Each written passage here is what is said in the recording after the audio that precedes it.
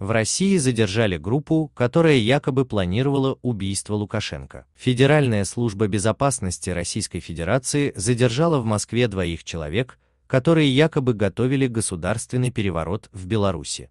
Их также подозревают в планировании физического устранения Александра Лукашенко. Об этом сообщают РИА Новости. Задержанными оказались Юрий Зинкович и Александр Федут. По информации ФСБ РФ, они имеют двойное гражданство США и Беларуси.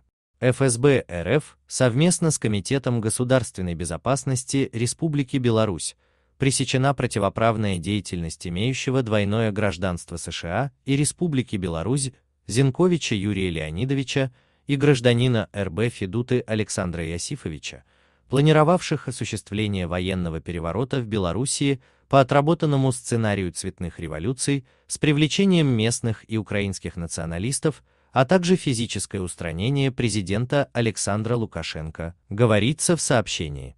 В отношении Зинковича и Федуты возбудили уголовное дело по статье о заговоре или иным действиям, совершенным с целью захвата государственной власти. Напомним, ранее в Беларуси заявили о шести попытках цветных революций в стране. Также РБК Украина писала, что лидер белорусской оппозиции Светлана Тихановская предложила Александру Лукашенко провести переговоры.